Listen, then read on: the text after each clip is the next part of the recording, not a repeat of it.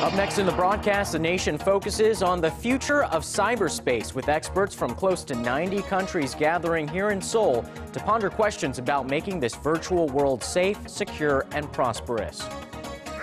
Lawmakers zeroed in on the latest controversy surrounding the nation's nuclear safety during day four of the annual government audit. And over in the U.S., it's an end to the government shutdown and the resolution of the debt ceiling, at least for now, as Obama and Congress agree to take up the issue again early next year. Primetime News begins now.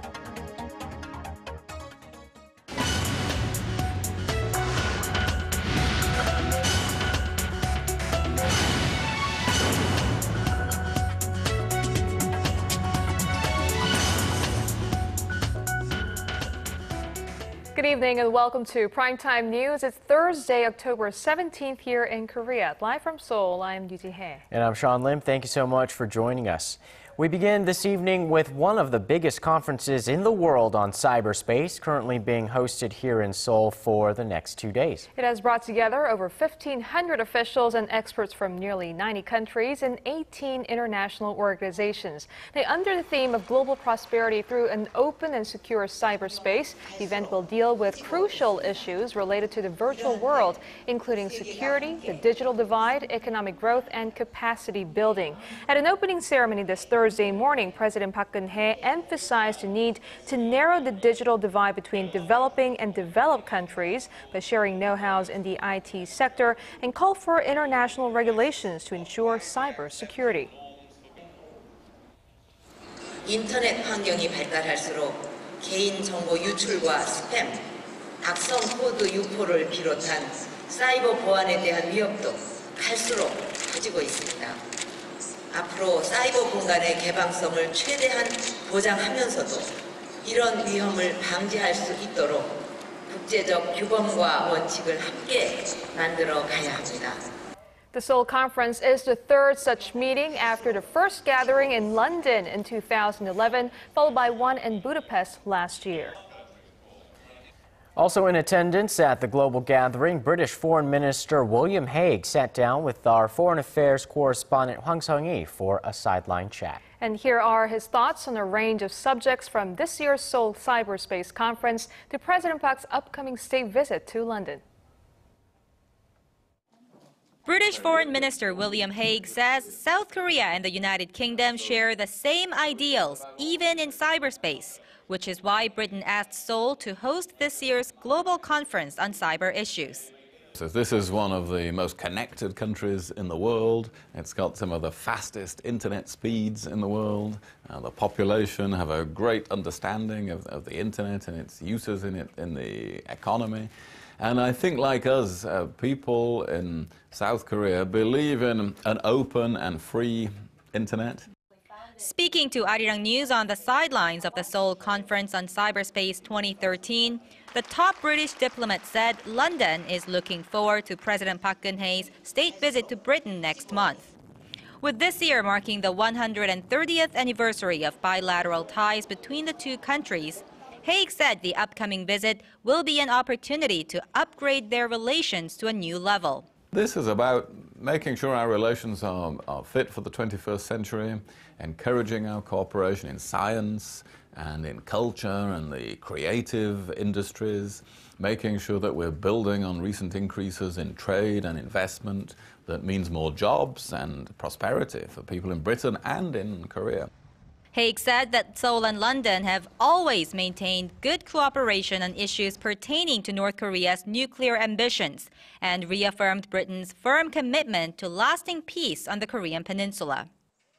Uh, we have often expressed our condemnation in the past of, nuclear, of North Korea's uh, military programs, particularly nuclear program. And we would like to see it take a, a different direction in the future, and we'll always urge it to do so. But there are issues that two countries remain divided on. Well, what's Britain's stance on Japan's recent push to lift its self imposed ban on the right to exercise collective self defense? Britain is a friend of many countries in this region, including Japan, and of course, very much including South Korea. And it is very important for countries, particularly the, the free democracies of this region, to play a steadily bigger role in world affairs. Uh, it's important that Japan also uh, is able to pursue that contribution to international peace and security. The visiting British diplomat, who recently expressed support for Japan's collective self-defense, said that with all the conflicts that have taken place in history, Europe understands the concerns of Japan's neighboring countries like Korea and China. But he added that what Britain would like to see is these countries building mutual trust for a collective security in the Asia-Pacific region. Hwang Sang-hee, Arirang News. And now let's get a local perspective of the cybersecurity situation here in Korea, especially as it pertains to threats from Pyongyang. We connect live to a cybersecurity expert, Dr. Yoon Min Woo, professor of police science and security studies at Gachon University. Thank you very much for joining us. So, Professor Yoon, how confident should the Korean public be of the current level of cybersecurity in the nation? Well, the Korean public has uh, little confidence on the cybersecurity situation today because, you know, we actually uh, achieved highly developed uh, info information in, in, uh, technology infrastructure. So uh, we can use a pre-high speed internet. But the problem is our level of security on this is you know little developed in, in, in, in, association with this infrastructure. So it's pretty you know uh, worrisome uh, situation.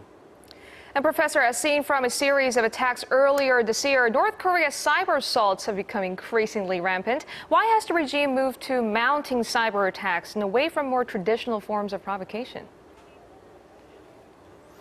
Well, because the cyber cyber uh, threat is pretty, you know, uh, safe for a perpetrator because you know perpetrator always can uh, you know hide behind. But the problem is you have to prove it's a you know nation state uh, action or individual action. That's the important thing thing you have to prove. But it's, it's extremely difficult. So uh, North Korea, you know, if they uh, commit a cyber attack, it, they can always, you know, have excuses. Then also uh, North Korea is looking for a long-term strategy uh, by, you know, use of uh, cyberspace. I mean, here they have dilemma, and they have to, uh, you know, deal with arms race game. So their strategy may going for a cyber cyber cyber security threat and cyber terrorism combine, com, uh, combining with nu nuclear you know nuclear programs with you know terrorist attack uh, by use of you know special forces or just you know North Korean agents. So, what are some of the biggest challenges when it comes to ensuring security in the cyber arena? Is it possible to keep up with the criminals? Well, it's extremely difficult because the biggest challenge is there's no border in cyberspace, and cyberspace actually uh, disrupted the you know modern nation's state system. So law enforcement is based on national sovereignty within the boundaries. I mean that there's you know national border. But cyberspace actually disrupted all these.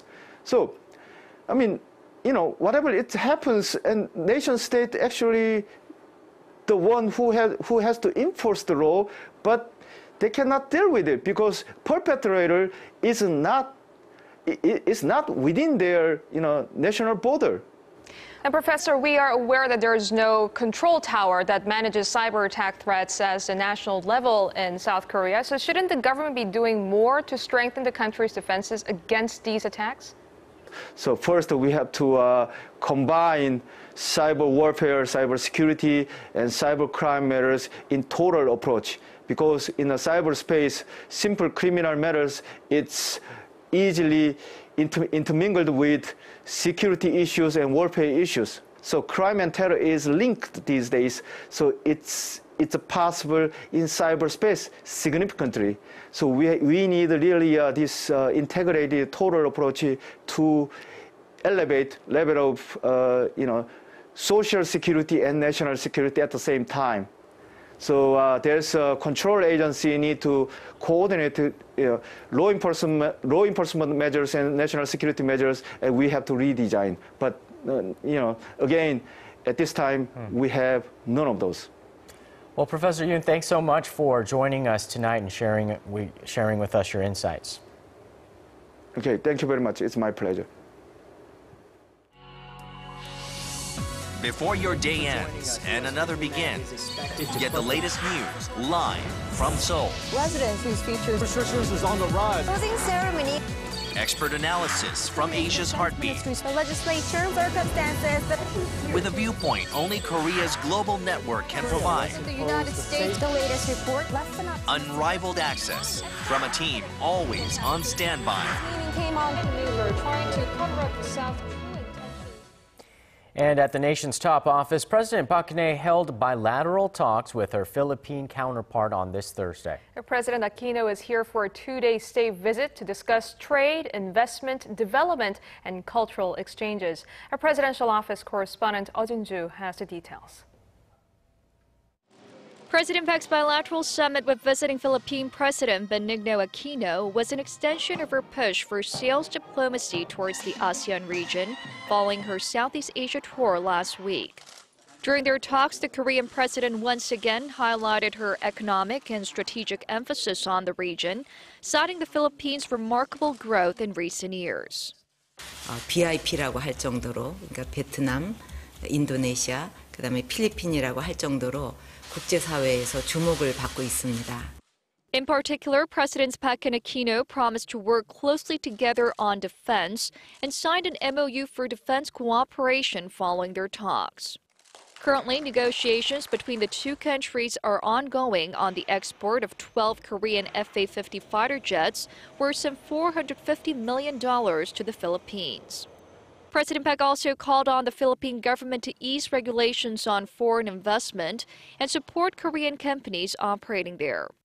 In response, Aquino vowed to support Korean firms seeking to take part in major infrastructure projects in his country, such as the extension of the Manila Light Rail Transit System and an airport construction project. President Aquino's visit to Korea was the first state visit by a foreign leader during the Park administration.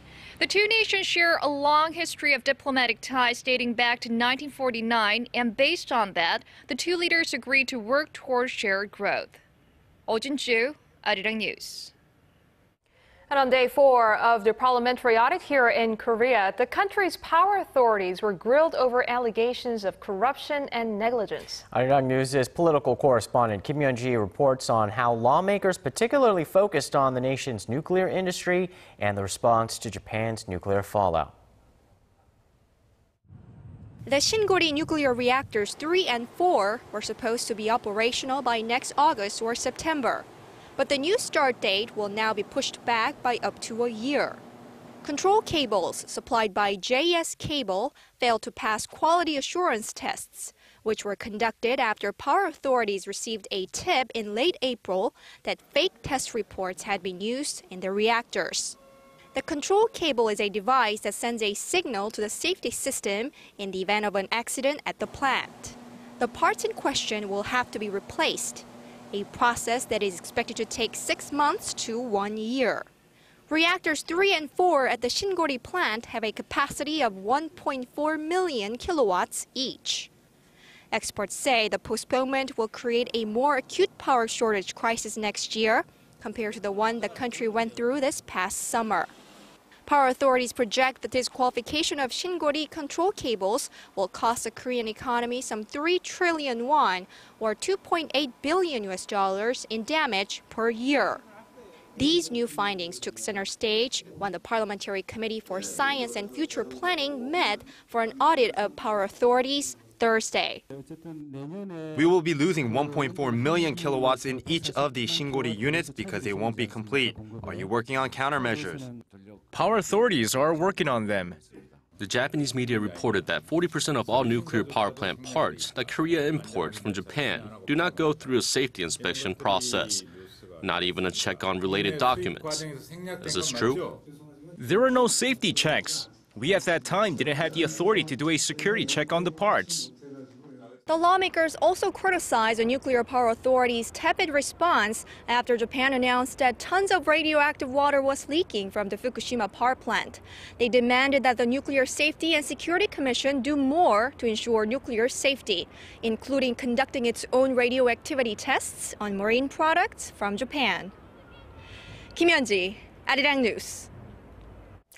Finally, the showdown is over in Washington. President Barack Obama signed a bipartisan deal to raise the nation's debt ceiling and ended a 16-day government shutdown just hours before a Thursday deadline. Kim Ji-yeon reports on the deal. President Obama signed the budget bill into law early on Thursday, effectively ending a fiscal impasse that had brought the U.S. to the brink of what would have been a potentially disastrous debt default. The deal was crafted on Wednesday in the Senate, where it was approved by a vote of 81 to 18, and was then sent over to the Republican controlled House of Representatives, which passed the deal with 285 votes in favor and 144 against. Our country came to the brink of disaster. But in the end, political adversaries set aside their differences and disagreements to prevent that disaster. The agreement will fund the government until January 15th and extend the country's $16.7 trillion borrowing limit until February 7th. The agreement also leaves President Obama's signature health care law virtually intact, representing a major defeat for Republican conservatives in the House, who had wanted to either defund or delay it. This is far less than many of us had hoped for, frankly, but it's far better than what some had sought. Now it's time for Republicans to unite behind other crucial goals. The deal also stipulates the creation of a panel comprised of members of the House and Senate to draw up another longer term budget deal by December 13th, which means that this could be the beginning of another round in a long running debate over the federal budget. Most importantly for federal workers, the plan also provides compensation for hundreds of thousands of government employees who have been on temporary leave since October 1st. The White House Budget Office said they should expect to return return to work on Thursday. Kim Arirang News. The South Korean government has expressed deep regret over Japanese Prime Minister Shinzo Abe's decision to make a ritual offering to a controversial war shrine at the start of the nation's annual autumn festival. Abe skipped a visit to the Yasukuni shrine, which would have prompted strong condemnations from neighboring countries, but he did send a masakaki tree, which is used in Shinto rituals. Seoul's foreign ministry spokesman Cho Tae-young said on Thursday that Abe's offering glorifies Japan's past wartime atrocities and honors the war criminals enshrined there. The Yasukuni Shrine is a key symbol of Japan's imperial past and honors many convicted Class A criminals along with millions of Japanese war dead. And here's the latest on the Laos plane disaster that killed all 49 passengers, including three Koreans. Officials there say they're trying to recover the bodies from the Lao Airlines plane that crashed into the Mekong River near Pakse Airport in southern Laos, largely due to bad weather associated with tropical storm Nari. Eight bodies have been recovered so far, none Koreans, and the recovery efforts could take a while because of low visibility due to poor water quality. From a military alliance to a global partnership, marking 60 successful years of the Korea U.S. alliance, former Korean and U.S. ambassadors gathered here in Seoul today to further cement those ties and discuss regional issues of mutual concern. Han Da-eun was there. Eight former Korean and U.S. ambassadors sat down for a special roundtable event in Seoul on Thursday to celebrate the 60th anniversary of the Korea-U.S. alliance. During the RARE Forum, co-hosted by the Korea Foundation and the Center for Strategic and International Studies, the distinguished panel reflected upon the past few decades of Korea-U.S. relations and exchanged views on pending regional issues. And North Korea, of course, was at the center. The group of senior diplomats gave out various opinions on ways to deal with the North. And her policy of Trustpolitik, I hope, becomes stronger and stronger as it goes on. With the uh, help of the United States leadership, and with the participation of all the concerned parties, we may be able to make a major step forward toward unification. Alexander Vershbow, who served as U.S. ambassador to Korea from 2005 to 2008, stressed the importance of China's role in restarting halted multilateral dialogue and bringing about a solution to the North Korea deadlock. When asked about the need of a Korea U.S. bilateral alliance, even after the North Korean threat is mitigated, all agreed that the two nations' ties go beyond security cooperation. From the Korean point of view, uh, of course, uh, it, it is um, about economic uh, prosperity, about democracy, about human rights. Although the need to maintain a strong alliance was agreed upon, ambassadors said they hoped the U.S. troops in Korea would gradually have a reduced role on the peninsula because of improved inter Korean relations. I hope that eventually we can uh, mutate to uh, a larger naval presence on a rotating basis, and I would hope that uh, the 2nd Infantry Division could gradually be uh, phased out. The panel discussion was concluded by reaffirming that the Korea and the U.S. have the vitality to move forward for the next six decades to come through strong and combined determination. And then, Arirang News.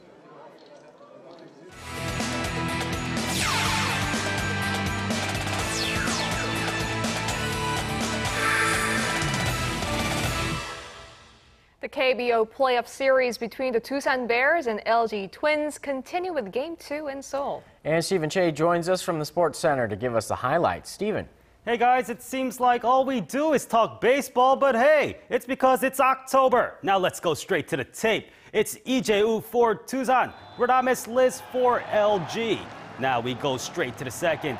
E's in big trouble. He walks two, then some hits later, including this double by Pak Yong Taek. It brings home two runs. LG's up 2 0. East pulled and Bears put in Derek Hankins. Meanwhile, the Twins' Liz doesn't give up a hit until the fifth, and that's the only one he gives up to go along with his 10 Ks for the night as he leaves after eight innings. And the Twins go on to win this one with a final score of 2 to nothing, tying up the series. And from the field to the back office, the KBO and its 10 clubs have decided against Changwon City's decision to build the NC Dinos' new stadium in the city district of Jinhae. The league decided to back NC in rejecting the city's proposal for the stadium site, saying that it's NC that's directly linked to the deal. The Dino said that the location does not fit with its standards and thus would not be a good investment by Changwon. The city is set to use close to $100 million in public funds for the stadium. And we end things with a look at the top matchups in the KBL. We begin with action between the Seoul teams, the Samsung Thunders and the SK Knights at Jamsil. And SK's Aaron Haynes was in it to show why he was last season's MVP. He goes 21 and 12 for his second double-double of the season, along with his teammate Courtney Sims, who also gets one with his 14 and 11 the Knights beat the Thunders 83 to 71. Elsewhere, the ET Land Elephants took on the Goyang Orions at Ilsan, and it, was, it came down to the last five seconds, but ET Land eked out the win as Ricardo Powell went for 21 points, five boards, and five assists. ET Land over the Orions 76 to 73. That does it for me here in the Sports Center. This has been Stephen Che. Check back at midnight for the latest in the world of sports.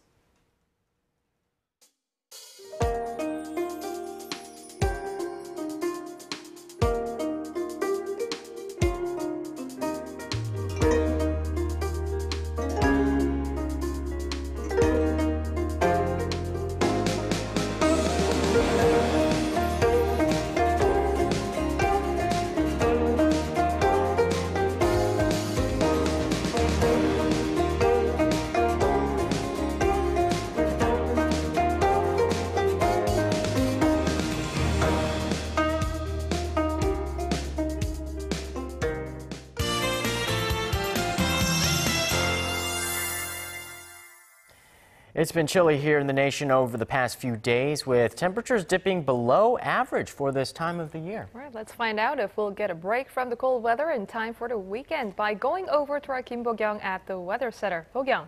Hey guys, bear with the cold through tomorrow morning because temperatures will rise to average autumn numbers starting tomorrow afternoon. Let's take a look at the satellite map for details. Well, we have clear skies in the central regions due to a high pressure system that is moving east from China. However, clouds are moving in down south.